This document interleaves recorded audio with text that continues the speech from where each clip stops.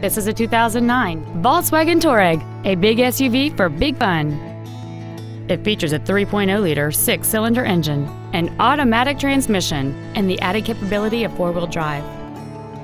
Its top features include a navigation system, a double wishbone independent front suspension, a locking center differential, and a sunroof enables you to fill the cabin with fresh air at the push of a button.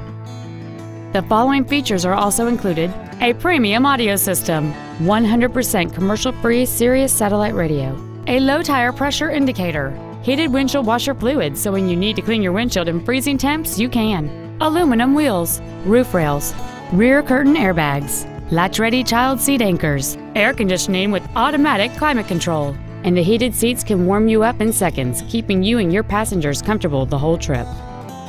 Contact us today to schedule your opportunity to see this automobile in person.